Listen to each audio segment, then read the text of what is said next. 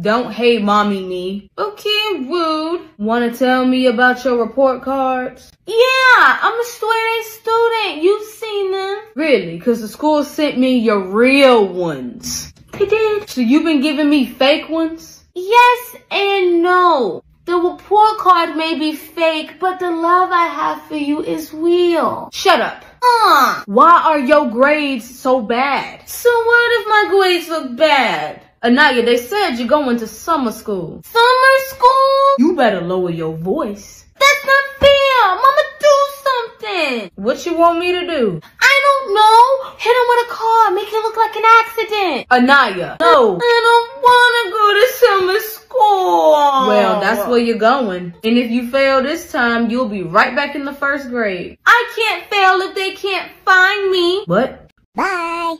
Anaya? Anaya!